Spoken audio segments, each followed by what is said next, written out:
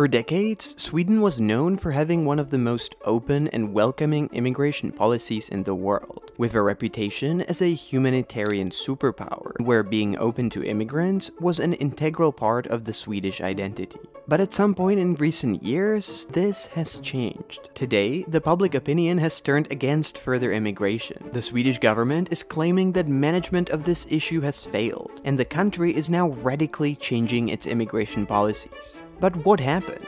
Why is Sweden now changing course after decades of being friendly and open? And why did Sweden fail at managing this issue? This is why Sweden doesn't want immigrants anymore.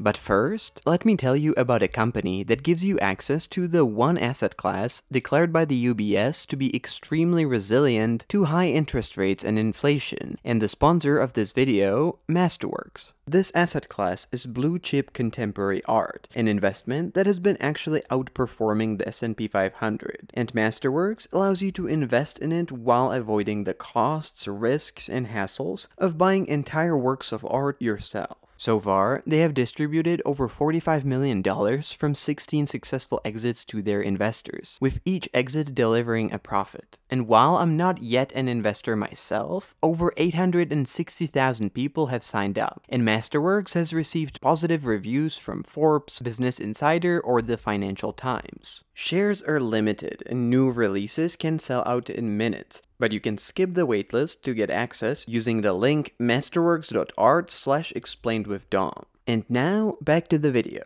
But to understand what's going on, we need to explain how we got here, because immigration is a surprisingly recent chapter of the Swedish history. Until the 1940s, Sweden was an overwhelmingly homogeneous country, with only a negligible amount of people coming in, and although it became a haven for refugees from the Nazi-occupied Europe during the Second World War, by 1945 only 2% of its population were foreign-born, and immigration remained very tightly regulated. But since the late 1970s, that has changed, and Sweden radically opened up and started accepting people escaping wars and totalitarian regimes coming in from literally all over the world, from the Eastern Bloc to dictatorships in South America and the Middle East. Throughout the years, those policies were restricted now and then when the numbers got too high, but the overall trend was clear. And then came the European migration crisis. As the Middle East was getting increasingly more unstable, more and more people from Syria and Iraq started heading towards Europe, joined by hundreds of thousands of people from Afghanistan and Africa, running from danger or simply looking for a better life. And Sweden started accepting more refugees per capita than any other nation in Europe, taking in 160,000 people, the equivalent of 2% of its population at the peak in 2015. Today, over 2 million people, or 20% of Sweden's population, have been born outside of Sweden, making Sweden one of the most diverse countries in the world, and one which, in the words of its former prime minister, accepts immigrants and doesn't build walls. Except that's no longer true, and Swedish leaders now sound very different.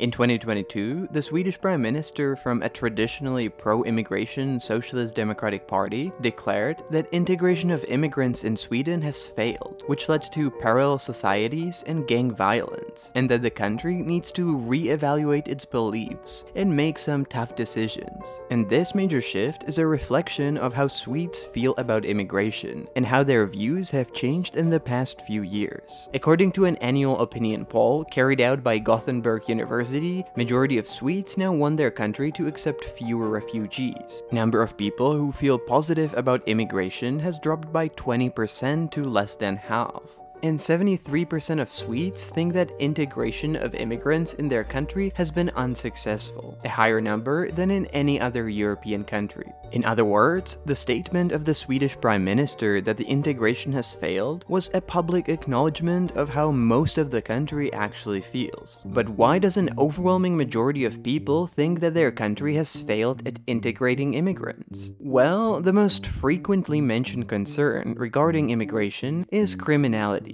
or specifically a surge in violent criminality that Sweden seems to be experiencing. Sverige har aldrig förr sett något liknande. In recent years, Sweden has seen the kind of violence that the country has rarely experienced before. Wars and violent clashes between rival gangs that take place in the streets in the form of shootings and bomb attacks. According to the Swedish National Police Chief, in 2023, Sweden has experienced the most violence the country has ever had. And while this is a very sensitive issue in Sweden, it is hard to overlook that immigration does play a role in that. The gangs involved in drug trade and arms trafficking are mostly made up by people from immigrant backgrounds, and immigrants are roughly three times more likely to be involved in criminal activity than people with Swedish origin. But the issue is more complex than that, and it goes beyond the increase in crime rates. The thing is that although Sweden is sometimes depicted as a crime-infested country, You look at what's happening last night in Sweden. the fact is that it is in general still pretty safe, with crime rates comparable to the European average and much lower than in most of the United States. And while crime dominates the headlines, it doesn't actually directly affect most of the Swedish population. And that's because, as the Prime Minister pointed out, the story of Sweden is now a tale of two countries that exist next to each other but that are very different.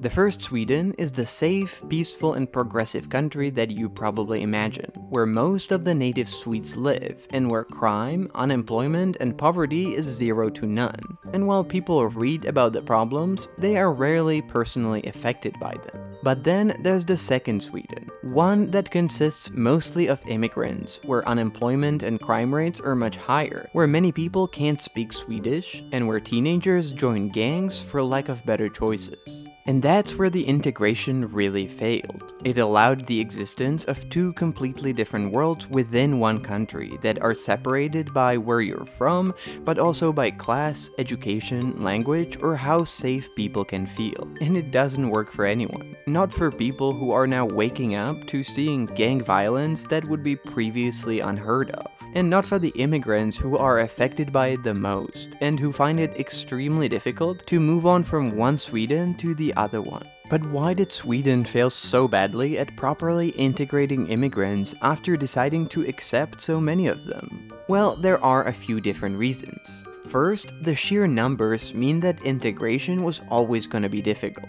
In two decades, the immigrant population has basically doubled, as Sweden accepted more immigrants per capita than any other European country. But this was made more complicated by the fact that Sweden did not have a selective approach to immigration, but rather a humanitarian one, meaning that while some countries prefer to take in mostly the highly skilled, highly educated people that will represent a net economic benefit, Sweden has been mostly accepting low-skilled immigrants from lower socioeconomic backgrounds, who often need asylum the most, but who have the most difficult time to integrate. In a highly developed economy like Sweden, where less than 5% of jobs are suitable for people without any qualification, low-skilled immigrants naturally struggle to succeed on the job market, and as a consequence, to integrate into the society. And while this would be a challenge to any country, Sweden made this even more difficult by focusing on a particularly soft approach to how you work with the immigrants. Rather than making integration into Swedish society a requirement, it emphasized people's rights to preserve their own cultures and languages in schools and public institutions. But while this approach was seen as superior, in hindsight, it probably helped to further isolate the immigrant population from the majority of the Swedish society. Since last year, Sweden has been led by a government that has an immigration reform as one of its main priorities, and it's making some major changes. Sweden is now making it much more difficult to obtain an asylum as a refugee. It's cracking down on people living in the country illegally, it's restricting low-skilled labor immigration, and it now requires integration, for example learning the language, as a condition for long-term stay and obtaining welfare benefits.